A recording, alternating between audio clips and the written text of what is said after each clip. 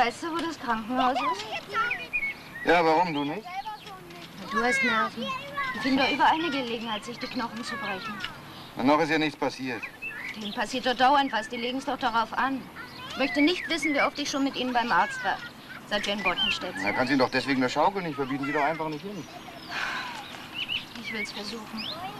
Also pass mal auf. Hier ans Haus kommen die Rosen, ja? Das da wird Rasenfläche und rundherum pflanzen wir Blumen. Dahin kommt Goldmohn, Immortelle, Salvien, hier Heliotrop, Narzissen und ein paar Bartnelken. Da kommen Schneeglöckchen und Krokus. Naja, ob wir das lassen, weiß ich noch nicht. Und dann vielleicht ein paar Wildtulpen und Lilien. Und vor allem vergiss meine Was nimmst du als Eintritt? Wieso? Na, was du da erzählst, das klingt ja wie eine Führung durch den botanischen Garten. Ach, verdirb mir doch die Freude nicht. Allein die Bücher über Gartenbau sehen schon so hübsch aus. Schau Ja, mal. ja, mein Schatz, ist ja gut. Wundere mich ja auch nur, dass du auf einmal deine Liebe zu Blumen entdeckt hast. Die hatte ich doch schon immer. Na, red doch nicht. Du hast doch Blumentöpfe nie ausstehen können. Zwischen Goldmohn und Rosen und einem verstaubten, fleißigen Lieschen ist ja auch ein himmelweiter Unterschied. Das hier alles lebt, aber das wirst du sowieso nie verstehen. Na, Sei ich nicht nicht. so wild. Und wie willst du das alles schaffen? Weiß ich nicht, mal sehen. Außerdem kannst du mir ja mal Oh ein nein, mein Schatz, nein, nein. Wenn ich von der Baustelle komme, ja? Dann möchte ich nur noch meine Beine ausstrecken. Ja, das Wichtigste bei der Gartengestaltung ist für mich der Liegestuhl. Na, irgendwo hast du sogar recht. Und was wir hier machen, ist ja doch nur für den Hauswirt. Und für die Miete hätten wir längst schon... ja, allerdings. Robert, wollen wir nicht endlich anfangen zu bauen? Was denn hier in Bottenstedt? Ja, warum nicht? Ist mir doch längst klar, dass wir hier bleiben. Warum denn nicht gleich im eigenen Haus? Ja, du, du, ich... Ich hätte nie gedacht, dass du hier bleiben willst. Ich meine, mir kann es doch nur recht sein. Ach, schau dir das an. Was ist denn? Hast du dir wehgetan? Nee, überhaupt nicht. Was? Zeig mal her. Ach Gott, ach Ina, Gott. ist ja gut. Komm mal, das nächste Mal schaukel dann nicht so dort. Ina, pass mal auf. Äh, du, ist das denn ernst mit dem Haus? Ich bin doch schon eine halbe Lokalpatriotin geworden. Hast du es noch nicht gemerkt? Naja, du, also, noch nicht so ganz. Aber morgen gehen wir auf Grundstückssuche, ist das klar, ja? Komm.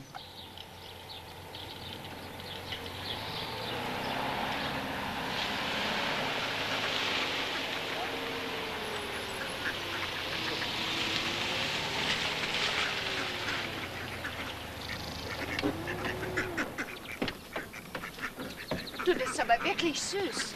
Ja, Vor allem nicht so weit weg von der Zivilisation. dann sollte man hier kein Haus hinbauen. Sondern? Ausrangierten Dampfer. Wieso? Dann schau dir doch mal den Teich an. So, pass mal auf jetzt, pass auf. Hier, da. Der Boden gibt doch nach. Alles sumpfig hier. Morastiger Boden. Naja, Und darauf kann man nicht bauen? natürlich kannst du bauen, aber am besten wie ein Pfahlbau. Also wenn du an jedem Grundstück was auszusetzen hast, dann kommen wir ja nie zu einem. Aber mein Schatz, da kostet ja das Fundament schon ein Vermögen. Na, außerdem kriegen wir alle Räumer von der Feuchtigkeit. Das kann nicht sein. Warum nicht? Aber Man nimmt doch gerade Moorbeeder Gegenräumer. Ja, ich glaube, wir schauen uns besser noch was anderes an, nicht?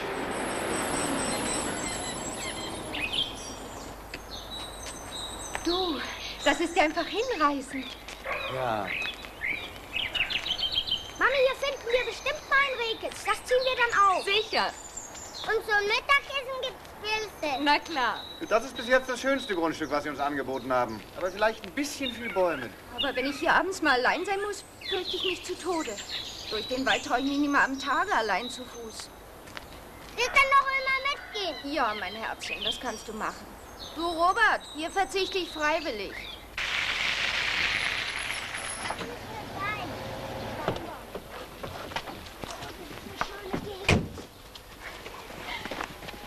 Oh, du, das ist es doch aber jetzt, oder? Groß genug und jetzt passt einmal auf. Also, hier ist der Eingang. Hm? Du komm doch mal mit. Also, hier rechts ist die Küche. Ja? Und gegenüber ist die Kellertür, daneben das Gästeklo. Robert, hörst mir zu? Ja, ja. Und dann geht's geradeaus und hier ist der große Wohnraum, natürlich mit Kamin. Die Fenster alle nach Süden und wenn man dann die Jalousien aufzieht, na ist das eine herrliche Helle. Ich Robert, find's schön, ja, ja. Nun zeig uns mal das Obergeschoss. ja, also das geht im Moment nicht, weil da werden gerade die Böden versiegelt. Ach so. Sag mal, Robert, wäre das nichts? Wie ist denn der Quadratmeterpreis? 25 Mark. Das ist doch geschenkt. In der Großstadt zahlst du das Zehnfache. Das ist auch mal das Dreifache. Und dann kommen ja noch die Erschließungskosten zu. Wieso? Ist hier noch nichts? Nee, das würde ja dann hier drin stehen. Wenn du das zusammenzählst. Da kommt elektrisch Licht dazu, da kommt Wasser dazu, da kommt Kanalisation dazu, da kommt Telefon dazu, da kommt Wegebau dazu. Nee, nee, komm. Ja, das lohnt sich wirklich nicht. Also, Ach, schade, Robert. Naja, wenn du meinst. Du, wollen wir nicht für heute Schluss machen? So, bauen wollen Sie. Muss das denn jetzt schon sein? na, irgendwann muss man ja anfangen. Je eher, desto besser. Da kann ich nur eine alte Monteurweisheit weitergeben. Man soll nie auf zwei Baustellen zur gleichen Zeit bauen. Wieso denn nicht? Sonst sind Sie fertig, ausgequetscht wie eine Zitrone. Zwei Bauten. Das hält keiner durch. Na, stellen Sie sich vor, Sie kommen abends nach Hause und statt dass Sie die Beine unter den Tisch strecken, geht der Ärger von neuem los. Na, danke. Daran habe ich noch gar nicht gedacht. Na, sollten Sie aber. Knappes Jahr lang ohne Feierabend, das macht sich bemerkbar. Wie wär's denn mit dem Fertighaus? Nein, nein, das will meine Frau nicht. Die sagt, wenn schon bauen, dann richtig. Na, hat sie ja recht. Für sie ist das ein kleines Abenteuer. Na ja, dann ist auch nicht daran zu denken, ein Haus zu kaufen, ne? Ja, ist natürlich eine Möglichkeit. Überlegen Sie es doch mal. Das kostet weniger Nerven. Und ist für Ihre Frau außerdem auch ein ganz schönes Abenteuer. Das ist doch eine Idee. Ich habe da einige interessante Objekte an der Hand. Objekte für alle Ansprüche. In bester Lage. Also wir hatten an etwas gedacht. Ja, ja, ich weiß, ich weiß. Keine Luxusvilla etc. Das eigene Haus darf keine Belastung sein fürs Leben. Da machen Sie sich keine Sorgen. Man muss nicht Millionär sein, um ein Haus zu kaufen. Im Grunde brauchen Sie überhaupt kein Geld. Und Sie müssen sich auch nicht um den Papierkram kümmern. Das erledige alles ich für Sie. Du? Ja, hast du was? Hm? Komfortvilla, beste Wohnlage, 1300 Quadratmeter parkähnlicher Garten, 200 Quadratmeter Wohnfläche, Ölheizung, zwei separate Eingänge, Preis, zwei Garagen, 260.000 Mark. Sag mal, hast du die Übersicht verloren? Du, hier, ich, ja, ich hab was hier. Komm her, guck. Doppelhaushälfte, Baujahr 1920. Voll unterkellert, nur 88.000 Mark. Hat bestimmt eine Macke. Wir wollen ja keine Klitsche kaufen, nur weil sie billig ist. Also ich würde vorschlagen, wir suchen uns das Vernünftigste raus und schauen es uns erstmal an. Also wenn das da nicht daneben stünde. Ja, du, aber ich glaube, da können wir ein bisschen runterhandeln. Ja, aber die Fabrik bleibt doch. Und wenn dann jeden Morgen alles mit einer Dreckschicht überzogen ist, ich glaube, da suchen wir doch besser weiter. Ist das die elegante Komfortvilla mit Freitreppe? Ja, scheint so. Baujahr 53? Ja, 1853. aber der für voll und feucht unterkellert. Dann wollen wir mal ganz vorsichtig weggehen, damit das Ding nicht zusammenfällt. Sehr gut, Herr Lübberstedt. Ja. Natürlich fehlt eine ordentliche Heizung. Umgebaut müsste auch noch einiges werden. Ja, das müssen Sie sich schon erstmal gründlich ausrechnen. Ich komme von meinem Preis nicht runter. Sehen Sie mal, alles tipptopp, kein Schwamm, kein Hausbock oder so etwas. Und immer im Familienbesitz. Äh, einbauen können Sie natürlich, was Sie wollen. Aber repariert muss nichts werden.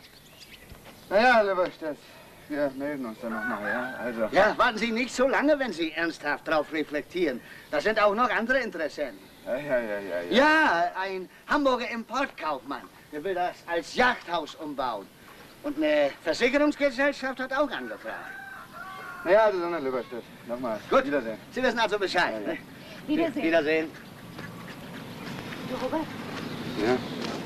das Haus gefällt mir wirklich ganz gut. Schau, es passt in die Gegend, ist groß genug und vor allem tadellos erhalten. Und aus den Zimmern, hier unten aus den beiden, könnten wir einen schicken Wohnraum machen. Also noch gehört es uns nicht. Also wenn es nach mir ginge, recht bald.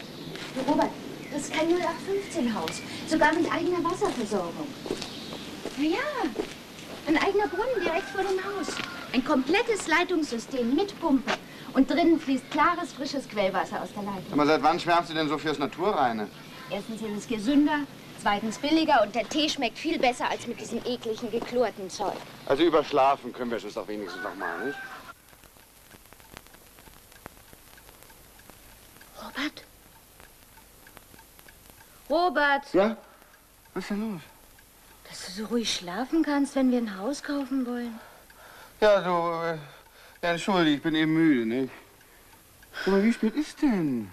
Gleich fünf. Ach, nur lass in Ruhe. Ich kann nicht mehr schlafen. Du sag mal, kaufen wir das Haus? Du kannst mir diese Frage nicht noch mal stellen, wenn ich aufgewacht bin, du. Also ich, ich würde es für besser halten, wenn wir den Lübberstedt noch ein bisschen schmoren lassen, nicht? Vielleicht geht er Du dann runter am Preis. Vielleicht schnappt uns inzwischen der Importkaufmann das Objekt weg oder die Versicherungsgesellschaft. Lass mich doch mit dem Objekt in Ruhe. Entschuldige, Haus. Du, Robert, sehen wir es uns noch mal an? Ja, meinetwegen. Ja, aber dann komm auch. Komm. Was, was denn jetzt? Natürlich, am Tage hast du doch keine Zeit. Und ich will das Haus nicht immer nur am Abend sehen. Hätte noch eine Stunde schlafen können. Na und, ist ja schon ganz hell, heute eben nicht. Morgenstund hat Gold im Mund. Nun los, nun komm schon. Süß, nicht? Ja, ist ja dafür auch ziemlich teuer, nicht? Das schaffen wir doch. Mehr als eine Großstadtmiete müssen wir ja nicht zahlen. Und denk an den Riesengarten. Wir werden richtig Selbstversorger mit Obst und Gemüse. Und die Kinder sind nur noch draußen. Du, und ich werde nie wieder im Leben nervös sein. Wenn das so ist, mein Schatz, dann kaufe ich es natürlich. Und du hast es auch nicht weiter zur Baustelle als jetzt. Ach du Donner.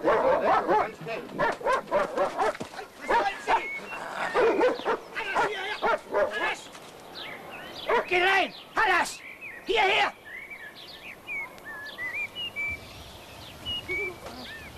Morgen, Entschuldigung, wir sind's, die Sonntags. Ach, Sie sind's. Ja. Jetzt weiß ich gar nicht mehr, waren wir für die Zeit verabredet? Nein, nein. Nein. Ja, wir wollten uns das Haus noch mal bei einer anderen Beleuchtung anschauen. Wir, glaube ich, haben uns nämlich entschlossen, es zu kaufen. Ina. Na, da gratuliere ich, Mann. Zu Damons Schloss. Ja, aber ich glaube, wir müssen uns ja noch über ein paar Einzelheiten einigen, nicht? Na, das will ich doch hoffen. Sagen wir doch zunächst dem Makler Bescheid. Na ja, gut, dann machen wir mal was. Das lobe ich mir, gnädige Frau. Die schnellen Entschlüsse sind immer die besten. Bitte, nehmen Sie doch schon mal Platz. Bitte sehr. Danke. Frau. Dankeschön. Fräulein Müller, Ja, bitte. versuchen Sie doch mal privat bei Herrn Konsul Wiegand. Ja, sofort, Herr Billroth. Ja, der guten Form halber muss ich Herrn Konsul Wiegand von Ihrer Entscheidung verständigen. Moment mal, was hat denn der damit zu tun? Herr Konsul Wiegand ist ebenfalls ernsthaft an dem Objekt interessiert. Ach, den gibt's wirklich? Ja, natürlich.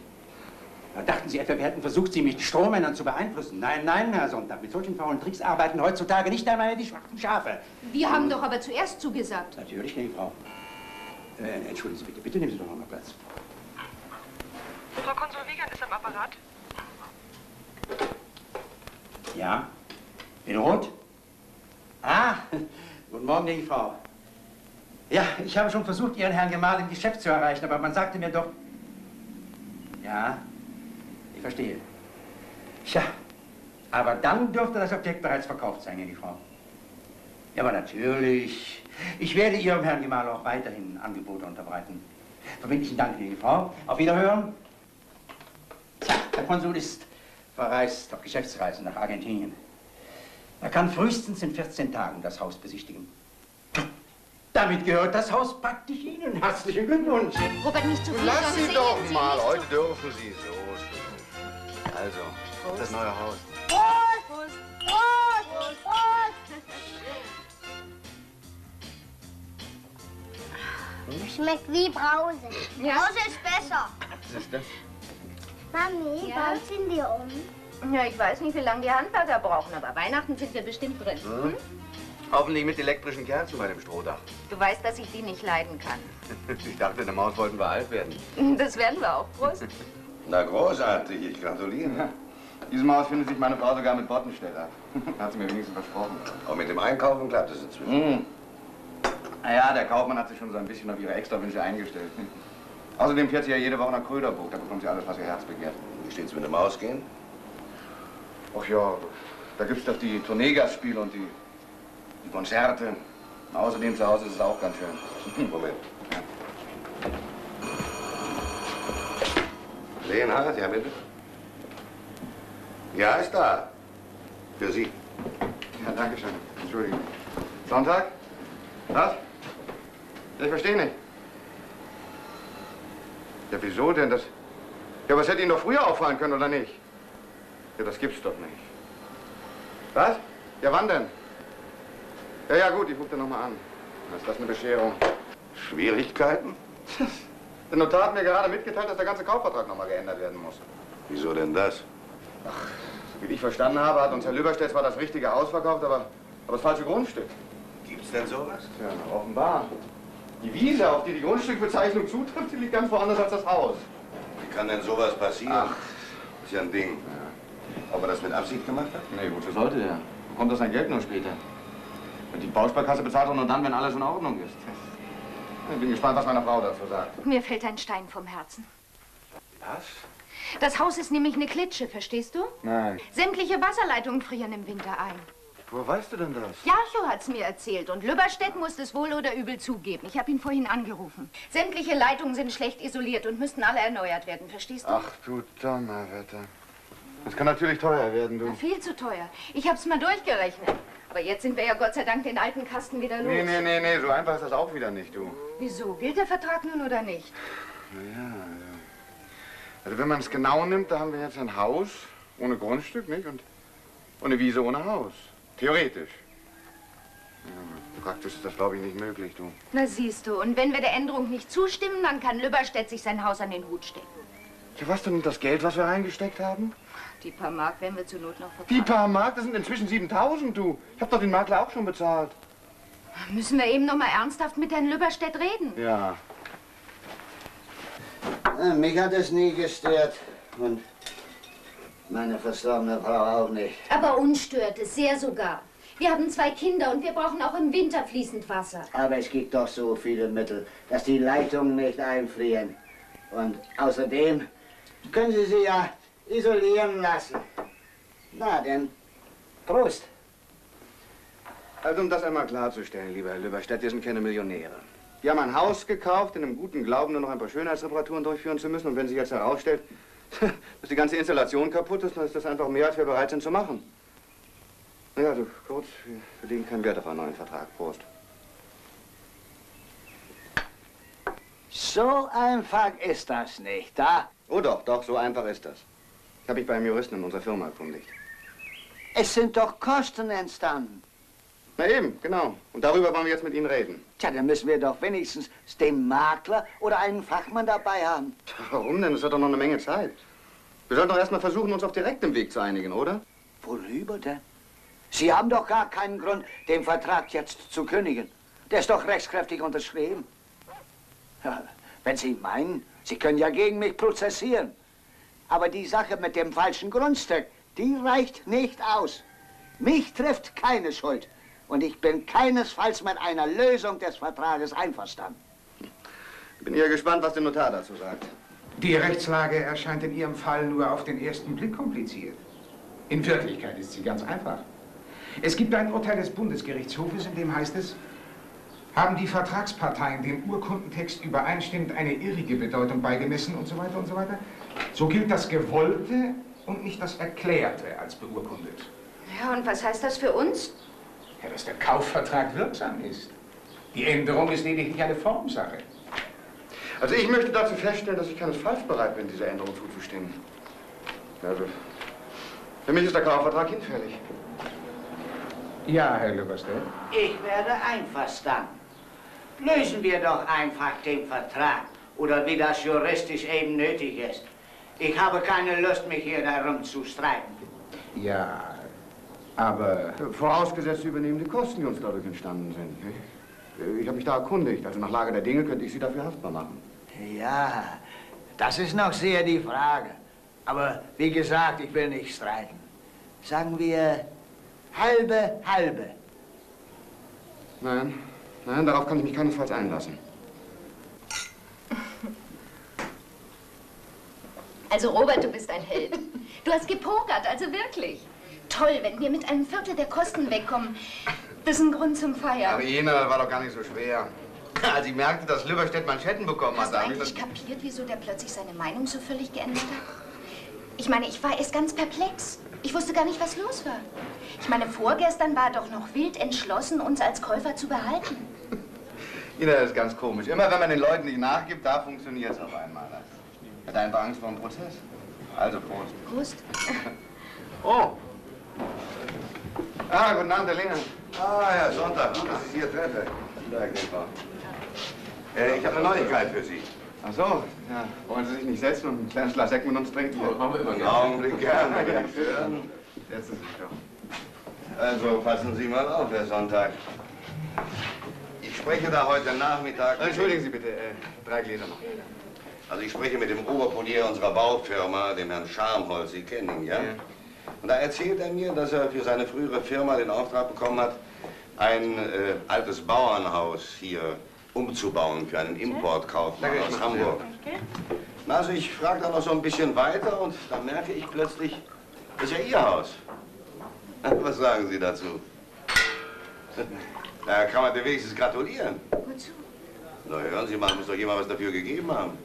Entweder der Kaufmann, der so verrückt nach dem Haus ist, oder der frühere Besitzer, der muss doch ganz ehrlich sein. Sie wollten ja ohnehin aus dem Vertrag.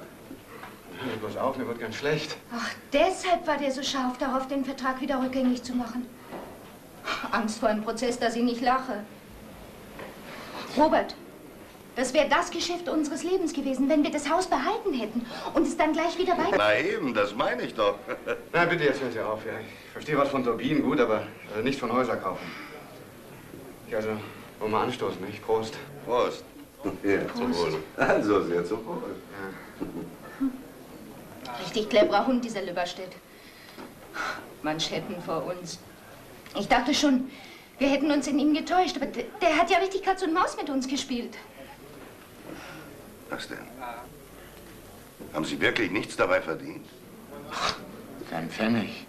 Ich war ja schon froh, dass er darauf eingegangen ist, mich aus dem Vertrag zu entlassen. Ich meine gegen die Zahlung von einem Viertel der entstandenen Kosten. Naja, meine rechtliche Situation war auch nicht besonders. Ärgern Sie sich nicht. Versuchen Sie doch, ihm etwas von dem Viertel abzuhandeln. Ja, das ist eine gute Idee.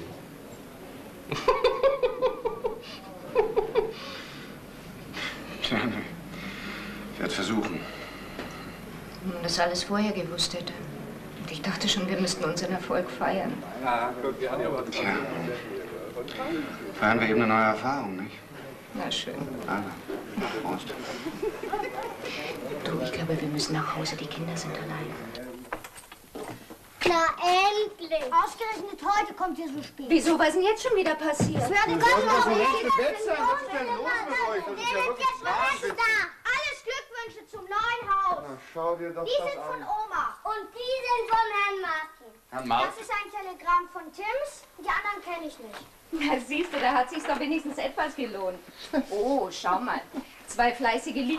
Li Au. Du machst aber auch ein Theater.